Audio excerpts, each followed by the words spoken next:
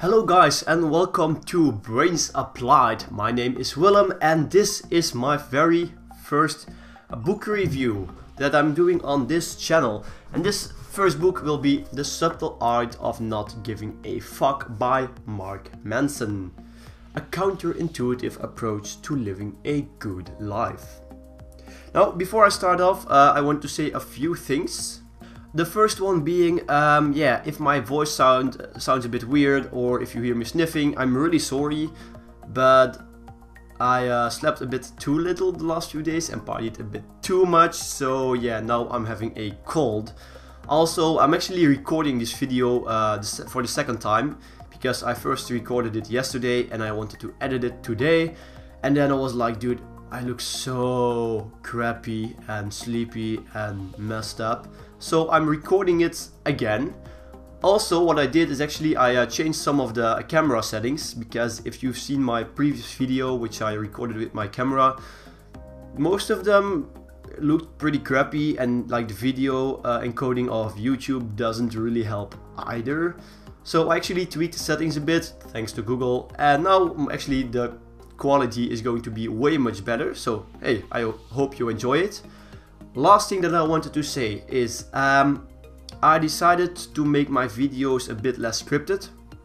So well, I actually just wrote down a few points that I wanted to say, but I don't have an entire script. So um, this is going to be a bit more natural. It's, this video is going to cost me less editing, but um, it might happen that I actually need some more time to think about something or that I make some uh, pronunciation or other mistakes because English is not my mother tongue so that might have quite an influence. Now if you like it or if you don't like it just drop a comment below and just tell me why you don't like this new uh, style of me presenting something. So let's get started with the book review. The Subtle Art of Not Giving a Fuck by Mark Manson. Um, let's start with the design and the cover. The thing is, uh, Mark Manson is a blogger. If you've never read any work of him, I'll put the link to his blog in the description. Um, and this is actually what you really notice in the book. For example, with the title, it's very catchy because the internet is filled with distractions and well you need to have a catchy title you need to catch the attention of your readers and he does that with the book and it actually does a good job it caught my attention as well but you also uh, notice it in his writing style that he actually is a blogger. Now there's one thing which actually which actually bothers me about the cover. If you it's like a very neat design, but if you look closely, you can probably see it on the camera. Let me just check it. Uh, no, no, no, no, no, no. Yeah, okay, you see it there a bit. Um, so all the letters of the cover are printed in matte black ink. However, the stain here is printed in glossy black ink and you actually notice quite a difference and I don't know why they did it but it is really bothering my OCD. But hey, that's just my opinion. Now onto the content. Um, in his book, Mark Manson actually makes one major point and that is that people, whether you like it or not, whether you know it or not, can set their own goals in life. And to live a happy life, they should do it according to their own identity, to their own values. For example, let's say you your parents want you to become a doctor. If you try, if you set being a doctor as your goal, but you don't really want to do it, you're probably never gonna become happy. And he also gives an example in his book about social media nowadays and celebrities. Because on social media, uh, we see a lot of celebrities being famous, being fancy, having a lot of fans, being rich, being pretty, that kind of stuff. And, well, the thing is, especially with millennials nowadays, um, now in this case everyone wants to become like a celebrity being like you know the in instagram influencers. Go go drink your uh, daily starbucks going on going on a lot of trips always wearing the latest fashion that kind of stuff. And people set it as a goal but it's not good because if you for example want to become a celebrity you should enjoy the process of getting there and not the end result. You shouldn't do stuff just because you like the end result. You should do stuff because you actually like the process.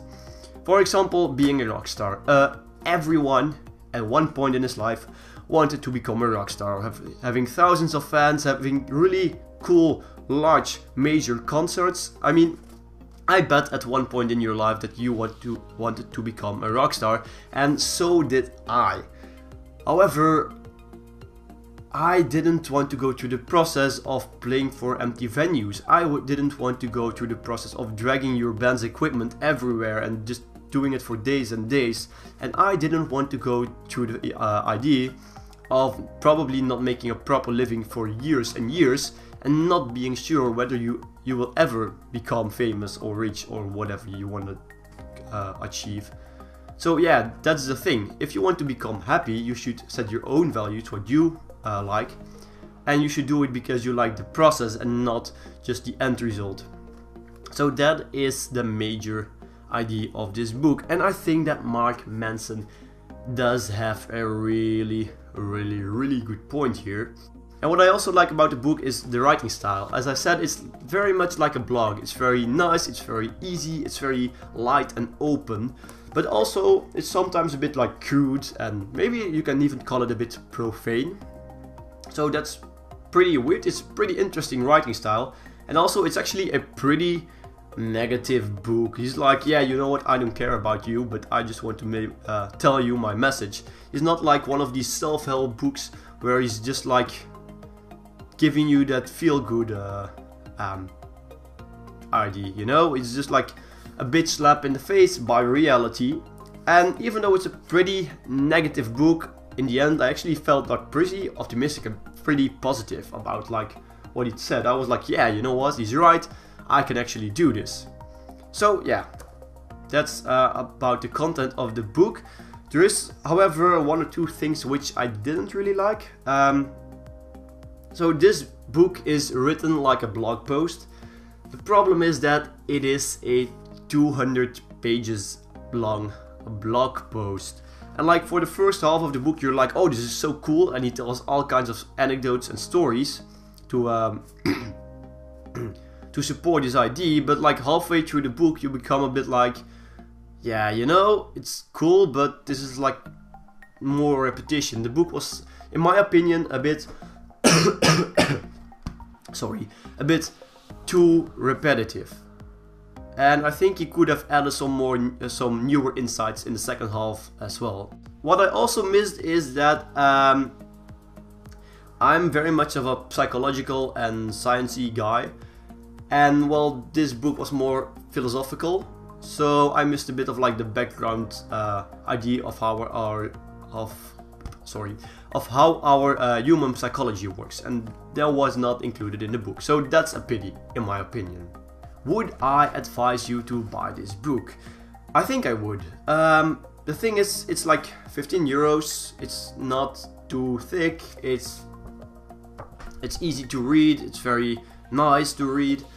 And if you, especially if you're new to the field of like self-development, especially if you're like stuck a bit in some kind of like victim mentality, you know, where you always blame others for the stuff that goes wrong in your life, I think this book might actually teach you a few things about life.